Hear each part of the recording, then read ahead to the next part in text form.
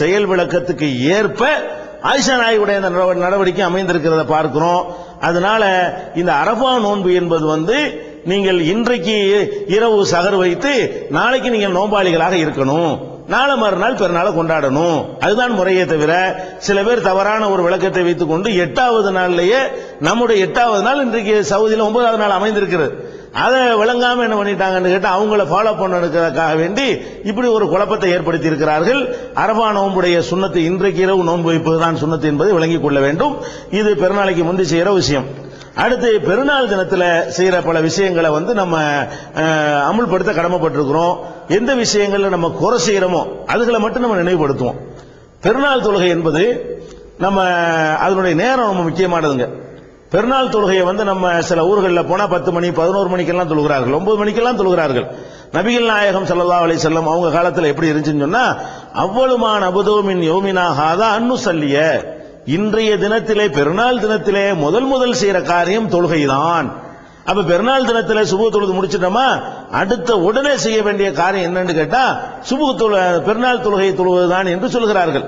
அப்ப பெருநாள் தொழுகை என்பது வந்து முத முதல்ல ஒரு மனிதனுடைய அன்றைய காலை பொழுதுல செய்யற முதல் காரியமா இருக்க வேண்டும் என்று பெருமானார் சல்லா அலிசல்லம் சொல்லி இருக்கிற ஹதீஸ் வந்து புகாரியில எட்நூத்தி தொண்ணூத்தி எட்டாவது ஹதீஸ்ல இருக்கிறது. அதே மாதிரி தொள்ளாயிரத்தி மூணாவது ஹதீஸ்லையும் இருக்கிறது. அவ பெருநாள் தினத்துல வந்து லேட் பண்ணாம நம்ம வந்து அந்த தொழுகை நிறைவேற்றணும் அன்னைக்கு சந்தோஷமா இருக்க வேண்டிய நாள் பத்து மணி வரைக்கும் சாப்பிடாம இருந்து பெருநாள் தொழுதுட்டு அப்புறமேல் குர்பானி கொடுத்து சாப்பிடுறதெல்லாம் பார்த்து கொண்டிருக்கிறோம்.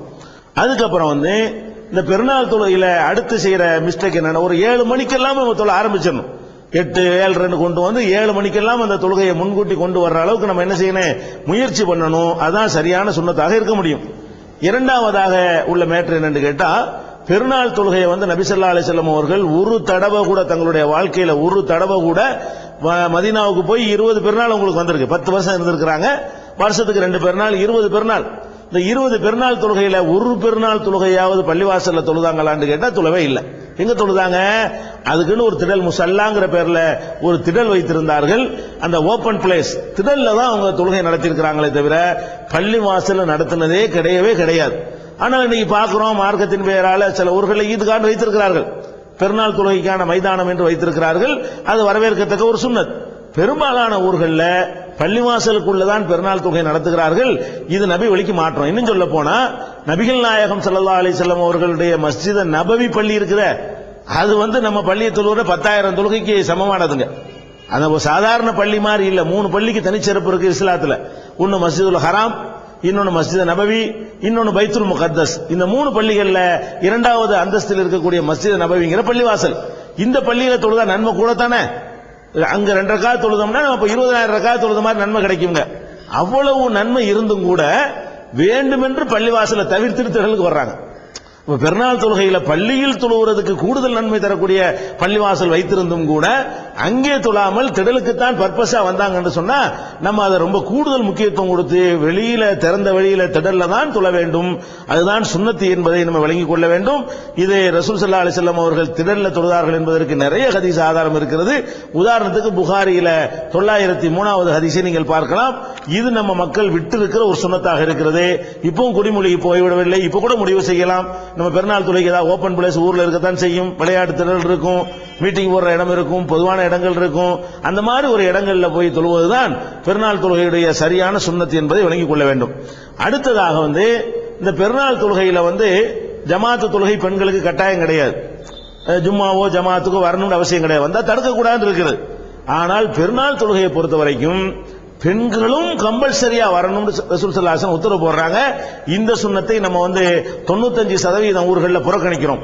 பெருமானார் சல்லா அலிசல்லம் எப்படி ஆர்டர் பண்றாங்கன்னு கேட்டா முசல்லாவுக்கு அதாவது பெருநாள் தொழுகை நடத்தப்படுகிற திடலுக்கு பெருநாள் தினத்தில மாதவிடாய் ஏற்பட்டிருக்கிற பெண்கள் உள்பட அனைத்து பெண்களும் அந்த திடலில் ஆஜராக வேண்டும். மாதவிடாய் ஏற்பட்டிருக்கிற பெண்கள் தொழாமல் ஒதுங்கி உட்கார்ந்து கொள்ள வேண்டும். மற்றபடி பயான்கள்ல பங்கெடுத்துக் கொள்ள வேண்டும்.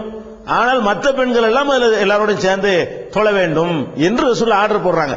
இது எங்க இருக்குன்னு கேட்டா நிறைய இடங்கள்ல. புகாரியில முன்னூத்தி பதிமூணாவது அதிச பாருங்க. முன்னூத்தி முப்பத்தி பாருங்க. தொள்ளாயிரத்தி பதினெட்டு தொள்ளாயிரத்தி இருபத்தொன்னு தொள்ளாயிரத்தி இருபத்தி ஏழு தொள்ளாயிரத்தி இருபத்தெட்டு ஆயிரத்தி ஐநூத்தி நாற்பத்தி ரெண்டு. இதெல்லாம் புகாரியில. இந்த ஹதீஸ் எடுத்து பாத்தீங்கன்னா பெண்களும் கண்டிப்பா வரணும்னு உத்தரவு போடுறாங்க. நம்ம என்ன பண்றோம்? பள்ளிவாசல்ல வைக்கிறது ஒரு சுனத்துக்கு மாற்றம். அதை வந்து பெண்கள் வருவதற்கான எந்த ஏற்பாடும் செய்வதில்லை ஊக்குவிப்பதில்லை.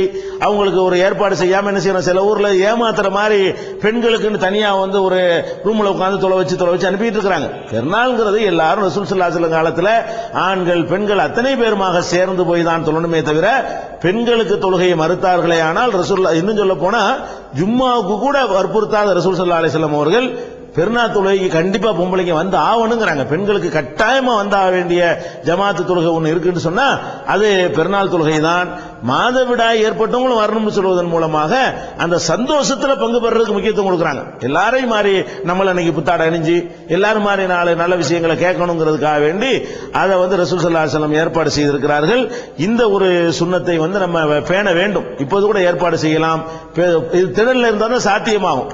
அது கூட இந்த மாதவிடாய் பெண்கள் வரணுங்கிறாங்களே அதுக்கு தாங்க பள்ளியே மாத்துறாங்க. பள்ளிவாசல்ல இருந்த பெண்கள் மாதவிடாய் பெண்கள் வர இயலுமா? வர இயலாது. திடல்னு சொன்னா வந்துடலாம் அதுக்கு தான் ரசூல் சல்லா அலைஹி அவர்கள் கூட அதுக்காக கூட இந்த திடல் என்பதை பர்பஸா அவங்க தேர்ந்தெடுத்திருக்கலாம். அடுத்த விஷயம் என்னன்னு கேட்டா அந்த பெருநாள் தொழுகைக்கு போகும்போது நிறைய பேர் வேண்டுமென்று இல்லை தெரியா தெரியாத காரணத்தினால் அவங்க கடைப்பிடிக்காத ஒரு சுண்ணத்து இருக்கிறது. என்ன சுண்ணத்து என்றால் பெருநாள் தொழுகைக்கு போறோம்ல போகும்போது கரெக்டாக ஞாபகம் வச்சுக்கணும். எந்த ரூட்ல போறோம்னு சொல்லி. வரும்போது வேற ரூட்ல வரணும். பெருமானார் சல்லா அலிசல்லம் அவர்கள் எந்த பெருநாளா இருந்தாலும் சரி நோன்பு பெருநாளா இருந்தாலும் சரி ஹஜ் பெருநாளா இருந்தாலும் சரி அவங்க பெருநாள் துறைக்கு சென்றார்களே ஆனால் ஹாலஃபத் தரீக் பாதையை மாற்றி வருவா- வரும்போது திரும்பி வரும்போது என்ன செய்வாங்க? பாதையை மாத்திடுவாங்க அப்படின்னு இருக்கிறது. இது நீங்கள் புகாரியில தொள்ளாயிரத்தி முப்பத்தி மூணாவது அதிசயில பார்க்கலாம். அப்போ ஒரு ஒரு ரூட்ல எந்த ரூட்ல போறோம்னு பாத்துக்கிறங்க பார்த்துட்டு திரும்பி வரக்கூடிய நேரத்தில் வேற ஒரு பக்கமா என்ன செய்யுங்க? வரணும். ஏன்னா இது ரசூல் சல்லா அலிசல்லம் அவர்கள் இது வேணும்னு செய்யறாங்களாம் வழக்கமாக இது நடந்திருக்கிறது. அதுதான் அந்த சஹாபி அறிவிக்கிறார். இப்ப தொலைக்கு போகும்போது எந்த ரூட்ல போறோங்கிறத யாவும் வைத்து கொண்டு வந்து எந்த ரூட்ல நம்ம வந்தோமோ அந்த ரூட்டுக்கு மாத்தமாக என்ன செய்யணும்? நம்ம போகணும். அடுத்தது வந்து பெருநாள் தொழுகை பெருநாள் அன்னைக்கு வந்து குர்பானி கொடுக்க வேண்டி அந்த குர்பானி கொடுக்கக்கூடியவர்கள் வந்து பெருநாள் தொழுகைக்கு முந்தி குர்பானி கொடுத்தாங்கன்னு வைங்க. செல்லாது. கொடுக்கலன்னு அர்த்தம். நீ வந்து சாத்து சாத்து லஹமீன் நீ இறைச்சி திங்கிறதுக்காக அறுத்துருக்கிறேங்கிறாங்க ரசூல் சல்லா அலிஸ்லாம் நான் வந்து பெருநா துளைக்கு முந்தையே அறுத்துட்டேன் அப்படின்னு சொல்லும் பொழுது நீ வந்து அது மாதிரி நீ உன்னுடைய சொந்த தேவைக்கு பண்ணியிருக்கிற. இன்னும் சொல்ல போனால் தொள்ளாயிரத்தி முப்பத்தி மூணாவது அதிசு புகாரில் இருக்கிறது மண் தபக கபல சலாத்தி ஃபல் எதுபக உஹ்ரா மக்கானஹா. தொழுகைக்கு முந்தையே ஒருவர் வந்து குர்பானி கொடுத்துட்டாருன்னு சொன்னா இன்னொன்று கொடுங்கிறாங்க. தொழுகைக்கு முந்தைய அறுத்துட்டோன்னு வைங்களேன் அறுத்த நீ கொடுக்கல வேற ஒன்று கொடுத்து தான் ஆகணும். அப்படிங்கிறாங்க ரசூல் சல்லா அலிசல்லம் அவர்கள். அதனால குர்பானி கொடுக்கக்கூடியவர்கள் வந்து என்ன செய்யணும்னு கேட்டா முன்கூட்டியே கொடுத்துடாம தொழுக முடிஞ்சவன போய் கொடுக்க வேண்டும். அது ஒரு முக்கியமான ஒரு மேட்ரு. இது இது கடைபிடிக்க வேண்டிய ஒரு சுண்ணத். அடுத்தது வந்து இந்த பெரு